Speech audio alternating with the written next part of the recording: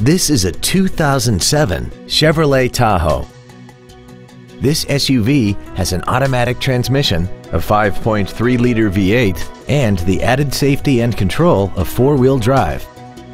Its top features include heated seats, air conditioning, cruise control, a CD player, a leather-wrapped steering wheel, heated windshield washer fluid so when you need to clean your windshield in freezing temps, you can, alloy wheels, a low tire pressure indicator, a split folding rear seat, and this vehicle has less than 72,000 miles.